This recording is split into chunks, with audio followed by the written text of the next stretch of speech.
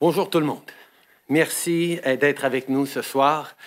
Le ministre Leblanc et moi venons de terminer une rencontre très productive avec les premiers ministres, notre 23e depuis le début de la pandémie.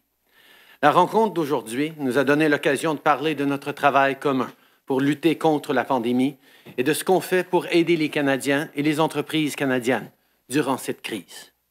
Job one remains keeping people safe. This has been our government's focus right from the start of the pandemic. That's why today we started our meeting with a presentation about vaccine rollout from Dr. Tam, Major General Fortin, and President Stewart of the Public Health Agency. In just a few moments, Dr. Tam and Major General Fortin will provide more details about what they presented to the premiers. Yesterday, Health Canada approved the Pfizer BioNTech vaccine as safe and effective. We now have a green light on getting shipments delivered and vaccines out to Canadians. The first 30,000 doses are expected to arrive on Canadian soil in just a few days. To all Canadians, if you're feeling relieved and hopeful, you're not alone. This is the good news we all needed. But remember, this is only the first step in what would be a massive project over a long winter. I announced to the premiers that the federal government will be covering the cost of these vaccines, as well as the supplies needed to administer them. Not only will doses be free for Canadians, but provinces and territories won't have to use their funding to pay for this vaccine. J'ai annoncé au Premier ministre que le gouvernement fédéral va couvrir le coût des vaccins, ainsi que le matériel nécessaire pour les administrer. Les doses seront gratuites pour les Canadiens et les provinces et territoires n'auront pas à puiser dans leurs fonds pour les payer non plus. Déjà, l'Agence de la santé publique du Canada ainsi que Pfizer et les provinces et les territoires travaillent ensemble pour finaliser la préparation des 14 sites de vaccination. Notre gouvernement renforce également les systèmes de TI de l'Agence de la santé publique. La nouvelle plateforme de TI de gestion nationale du vaccin s'ajoutera au système existant pour assurer une gestion rapide et efficace du déploiement du vaccin à travers le pays. Comme je l'ai dit au Premier ministre, dans les semaines et les mois qui viendront, il sera essentiel de continuer à travailler ensemble. On s'apprête à déployer une campagne d'immunisation sans précédent, mais j'ai confiance en notre savoir-faire et je sais que notre plan est solide. Vaccines are safe and effective. Serious side effects are incredibly rare. In the very unlikely event of an adverse reaction, though, we want to make sure that Canadians have fair access to support. So today, I can announce that we're creating a federal support program around vaccine safety for all Canadians and for all vaccines. This includes COVID 19 vaccines that will be rolled out soon. This program is based on the model Quebec has had in place for the last 30 years and follows the lead of all other G7 countries. Today, the premiers and I discussed what else we need to do while we roll out vaccines.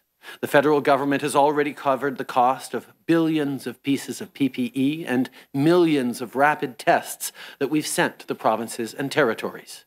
We've also provided tens of billions of dollars in funding to the province and provinces and territories, including through the Safe Restart Agreement and the Safe Return to Class Fund. This money is for everything from strengthening healthcare to improving ventilation in schools. Eight out of every $10 spent to protect and support Canadians through this crisis has been spent by the federal government. And as I've said to the premiers at our previous meetings, we will continue to work with them to ensure that this help gets to the people who need it. Notre préoccupation est toujours d'assurer la sécurité des Canadiens, de veiller à ce que les gens de la classe moyenne et ceux qui travaillent fort pour s'y joindre reçoivent le soutien dont ils ont besoin et de jeter les bases qui vont permettre à notre économie de revenir plus forte que jamais. Enfin, durant notre rencontre, les premiers ministres et moi avons parlé du financement des soins de santé. À chaque semaine, de nouveaux records de cas de COVID-19 sont atteints. Dans de nombreuses régions du pays, les lits d'hôpitaux sont remplis au maximum, ou presque. Notre gouvernement a déjà investi dans le personnel de soins de santé et dans un soutien accru au système de santé. Notre priorité est de veiller à ce que tout le monde puisse continuer de compter sur des soins efficaces et de qualité au moment et, où, et à l'endroit où ils en ont besoin. Comme je l'ai dit au Premier ministre, je sais que les derniers mois ont été très difficiles pour tout le monde. On a eu une très bonne conversation et j'ai proposé plusieurs étapes concrètes pour la suite. Nous reconnaissons à quel point nos aînés ont énormément d'inquiétudes par rapport aux soins de longue durée. Et donc, nous avons proposé euh, de, plus de ressources et de travailler avec les provinces pour euh, assurer les meilleures pratiques euh, et de l'aide à nos aînés. on espère pouvoir travailler avec eux dans les semaines et les mois à venir pour livrer concrètement pour nos aînés d'ici peu. Nous avons parlé du coût des médicaments. qui est en train d'augmenter à travers le pays, les préoccupations que les gens par rapport à l'assurance médicaments. Nous avons souligné que nous travaillons déjà pour réduire les coûts des médicaments, mais que nous serons très ouverts à travailler avec les provinces qui sont prêtes euh, sur euh, des régimes d'assurance médicaments encore plus fortes pour aider les gens tout de suite. On a parlé de l'importance de partager des données euh, et de regarder le virage numérique qui se passe à travers nos systèmes de santé et de répondre aux soins virtuels qui sont de plus en plus fréquents. On a proposé de travailler en étroite collaboration avec les provinces euh, sur ces enjeux pour s'assurer que d'un bout à l'autre du pays, on ait euh, des opportunités euh, de livrer un meilleur système de soins de santé. Oui, on a aussi parlé du financement à long terme des soins de santé et je me suis engagé aux provinces que le fédéral va augmenter sa part euh, des coûts euh, de notre système de santé. Euh, c'est une discussion que j'ai bien hâte à avoir avec eux euh, pendant les mois à venir. Euh, le premier ministre Legault a proposé que nos, responsables dans les ministres des Finances travaillent pour se mettre d'accord sur l'encadrement de les prochaines étapes. mais j'ai bien hâte de continuer de travailler avec les provinces pour livrer un meilleur système de santé pour tous les Canadiens pour les années à venir. Euh, on a aussi proposé de commencer à travailler déjà sur les apprentissages qu'on a eus pendant cette pandémie pour améliorer nos systèmes de soins de santé publique. Euh, on reconnaît que beaucoup de ce qu'on a fait pendant euh, cette pandémie a été basé sur des apprentissages pris il y a 20 ans pendant la période de, la SRAS à, à Toronto. et donc, on devrait commencer déjà à apprendre de ce qu'on est en train de vivre maintenant.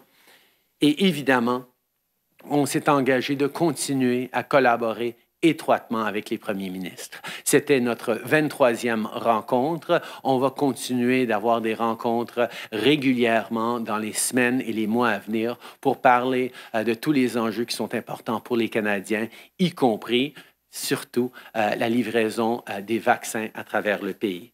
Ça a été une très bonne rencontre et il y a beaucoup d'étapes concrètes sur lesquelles j'espère qu'on va pouvoir commencer à travailler ensemble.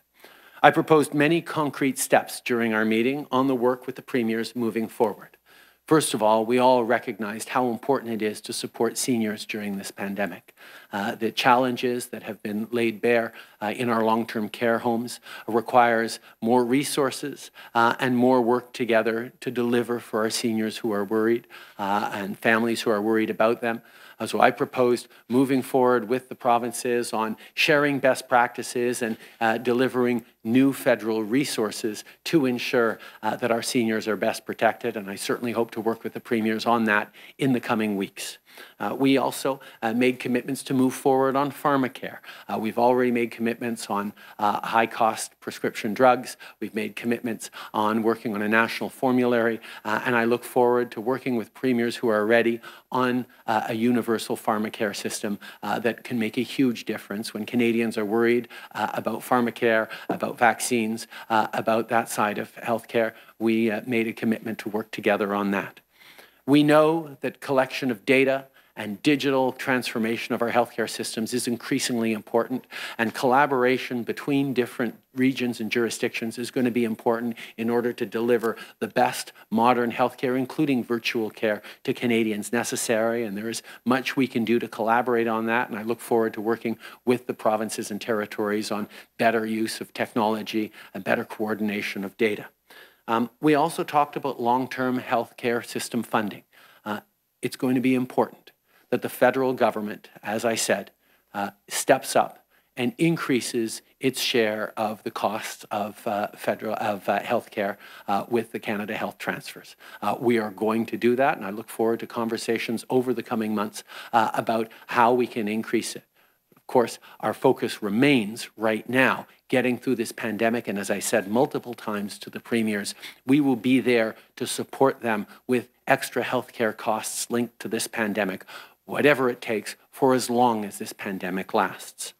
Um, we also need to take lessons uh, on public health from what was happening through this pandemic. Uh, we talked about the lessons we learned from SARS 20 years ago uh, that were applicable during this pandemic uh, and how we should already start collecting best practices and looking what public health agencies have learned during this pandemic to make sure we are ready for whatever the universe throws our way in the coming years or decades. And of course, we committed to continual ongoing First Ministers collaboration. This was our 23rd uh, First Ministers meeting, and I, of course, committed to continuing to meet with them regularly to talk about the things that matter to Canadians, from our healthcare systems to the rollout of vaccines that obviously is top of mind for Canadians and on which we continue to collaborate extremely well. We've been working together because this is just what Canadians do. We're there for each other. From the first days of the pandemic, when people delivered supplies to elderly neighbors, to the summer, when farmers worked hard to get food on our plates, to this winter, when people are staying home to protect the most vulnerable, Canadians have each other's backs. We're in this together, and together we will defeat COVID 19. Before I pass it over to Minister LeBlanc, I also want to recognize that it has been two years to the day since Michael Spavor and Michael Kovrig were arbitrarily detained in China. Our priority as a government continues to be securing their immediate release. Mr. Spavor and Mr. Kovrig and their families have shown truly remarkable perseverance in the face of an unimaginable situation. I want to thank all of the countries around the world that have expressed support on this issue.